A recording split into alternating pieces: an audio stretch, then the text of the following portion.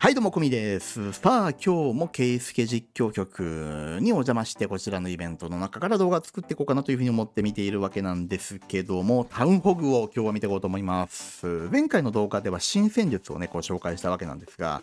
あの、タウンホグってっていうのがね、まあ、そこで登場したわけですよね。で、これは果たして強いのかというところをね、ちょっと、え中心に見ていこうかなと思っています。で、まあ、3本、うんリップ見ながら、2本タウンホグ、1本はそうじゃないものを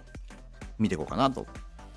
まあ、いうふうに思ってるわけなんですけども、これまずヒルアさんのタウンホグですね。で、まあ、プランを先にざっと言っておくと、えっ、と、凸をここに落としてカットしながら、食い火ね、こういうふうに進めていきます。キングは外周を歩かせていきながら、この面から一気にホグですね。スーパーホグをガーッとタウンホールに向けて出していって、こっちまで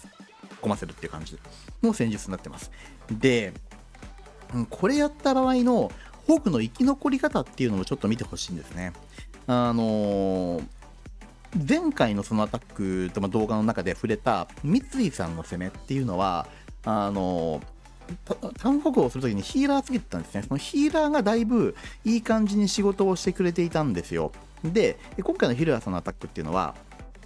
まずタウンをホグで取りに行きますなんだけど、ヒールとかヒーラーはそこにつけないんですね。で、何もつけなかった場合、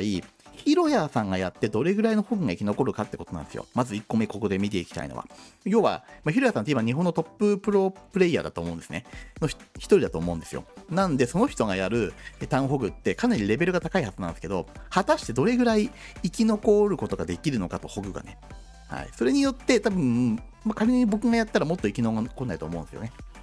なんで、まあ、あの最大ポテンシャルがどの辺にあるのかっていうのをちょっと見ていこうかなというふうに思ってるっていうのが今日の趣旨です。今のインビジブルうまいですね。しっかりと、えクロスとグランドボーテンのタゲを、えクイーンから外して、クローク吐かさずに残しましたね。さあ、で、ちょクイーンの方一旦飛ばしますね。こっち本番。このホグとロイちゃんのこのパートでターンを折っていくわけなんですけど、これがどれぐらいなのかって話なんですよ。で、まだレイジも何も使ってません。呪文一切使わず、フリーズだけでタウン止めていって、ここでレイジ発動で、グランドボーデントーム発動して、レイジホグでタウンを殴り倒します。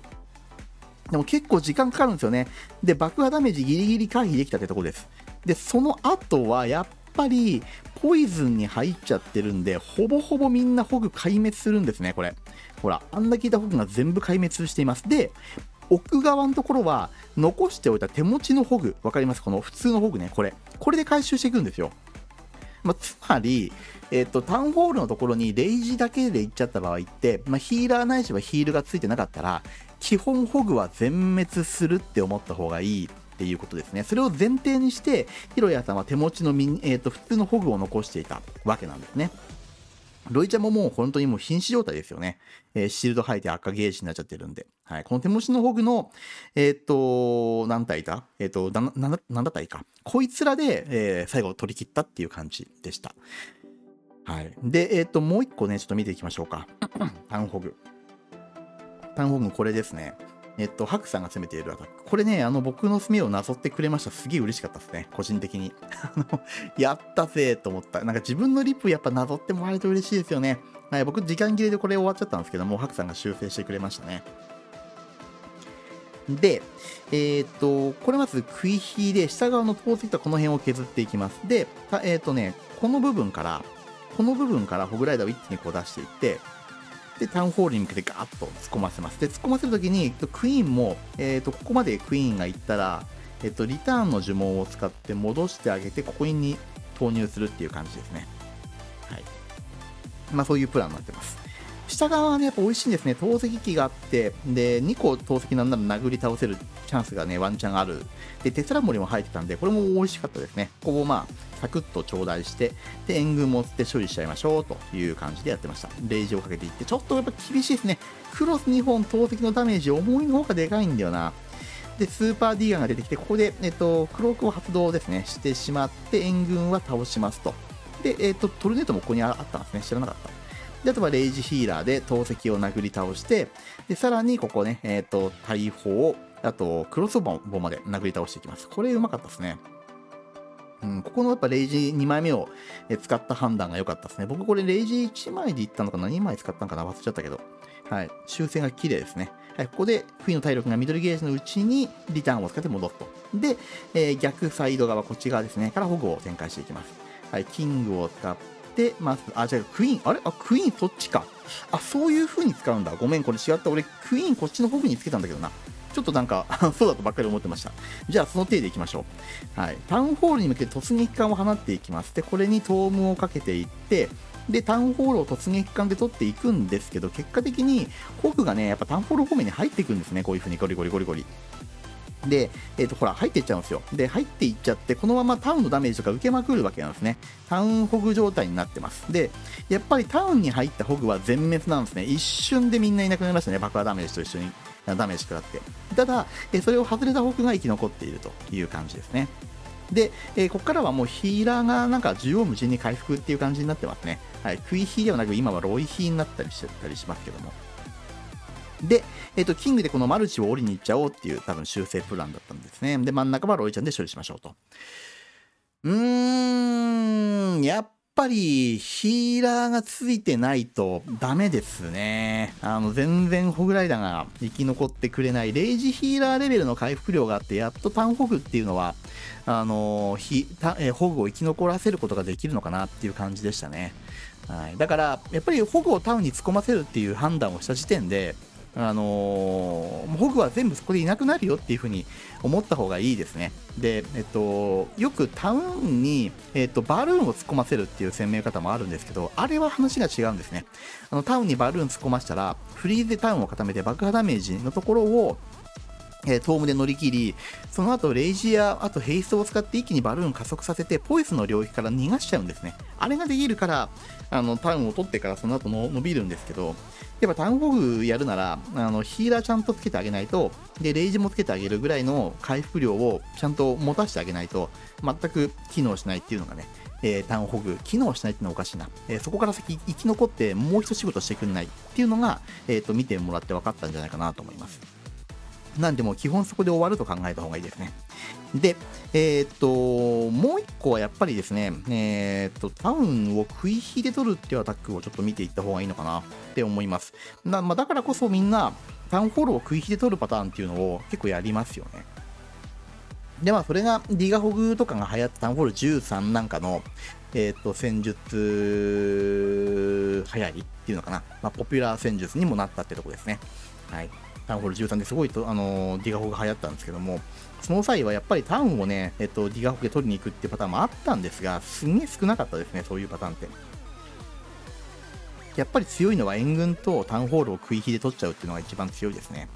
で、えっと、ちょっと今回あげませんけども、えっと、タウンに、えっと、レイジーヒーラーをつけて、えー、ホグ突っ込ませるっていう、えー攻め方はね、この1個前の動画で僕が紹介してるアタックに、えー出てきますんで、まあ、それを見てもらうと、さっきあの僕が言っていた、えータウンに攻め込ませるんだったら、えっと、レイジーヒーラーをつけたホグにしないと、その先仕事しませんよっていうところが分かってもらえると思います。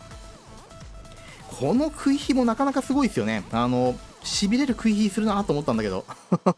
これタウンから一瞬それかけるんだけどね。それかけるんですけど戻るんだよね。危なかったんじゃないかな、これだいぶと思いましたけどね。はい。キングを使って外周をね、こう待つ。クイーンをこう歩かしていて、こう多分入れていきたかったんでしょうけど、キングを外周にこう出していって、こっちをカットしていって、で、クイーンをね、ちゃんとこのルートに流していくという感じですね。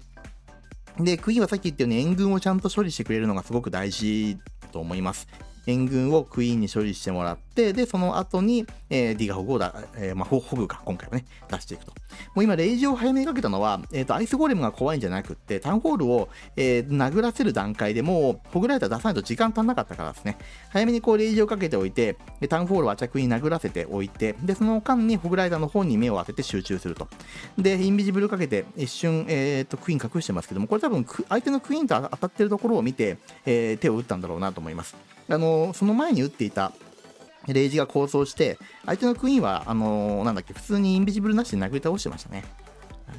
で、クイーンが生き残ってくれて、真ん中、この辺、真ん中のこの辺ね、こういうところをしっかりクイーンで叩いてもらいながら、外周方面をホグで潰していくというのが、やっぱりこのディガホグだったり、ホグラッシュの、あのーま、鉄板の形というかね、定番の、えー前回の取り方になるのかなっていう感じですね。クイーンが真ん中の壁殴り上げてくれることは多分想定済みでしょうね。この辺から一気に、ま、周りをアーチャークイーンが潰してくれて。で、えっ、ー、と、まあ、最後外周ちょっと残ってますけども、フリーズ1枚残してるんでね、ロイヤルチャンピオンで殴り倒しましょうというところですかね。フリーズを使ってロイちゃんをえ、ー、ロイちゃん守っていって、こっちのアチャトはもうしょうがないですね。タゲが向いちゃうのは仕方がない。けどまあ、小粒ユニットで守っていったことによって、ロイちゃんがギリ生き残ったと。うまいですね。最後の小粒の出し方。あれすごいうまかったな。さあどうでしょうこんな形でね、えっ、と、タウンホグって結構あの使い方が難しいと思うんですけども、やっぱりやる場合にはレイジヒーラーをつけるっていうところがね、生き残らしてその後仕事をさせるには大事。まあ、それが今日のあの今回のイベントで僕が思った結論かなっていうふうに思います。だから、タウンを取りに行くだけぐらいでいいんだったら、やっぱり、えー、気にせずレイレイジをつけて突っ込ませる。で、その代わりに、えー、ヒロヤさんがやってるみたいに、みえーと、普通のホグをね、何体か持っていて、タウンホールの裏側のところをそのホグで最後削り取って旋回まで持っていくっていう風に、ポグの使い分けをしないと多分、えー、最後ね、1区画が残っちゃって、えー、前回逃すってパターンになると思います。でもそこだけでいいよ、そこのタウンのとこまで、タウンまで行ってくれて、タウン壊すだけでいいんだよ。っていうんであれば、フリーズレイジをちゃんと持っていって、トームかけてあげれば十分、えー、ホグがね、タウンまではやってくれるっていうね、まあ、その2つの使い使い分けのところを、えー、きちんとね、こう、理解しておくのが、えー、と、ホグを使う上で重要なポイントかなというふうに思いました。ということでですね、今日は、えー、ケイスケさんののクランの、えー、イベントの中から、えー、ホグライダーに関するね、ちょっと考察をやっていきました。まあ、タウンホグ、えー、を今回やっていて、えー、新戦術っていうところを前回やってますんでね、この辺の動画、ぜひあの参考にしてもらいながら、ホグ使い込んでみてもらえたらというふうに思います。では、今日も最後まで動画ご視聴ありがとうございます。いいと思ったらグッドボタン、チャンネル登録よろしくお願いいたします。ではまた次の動画でお会いしましょう。バイバイ。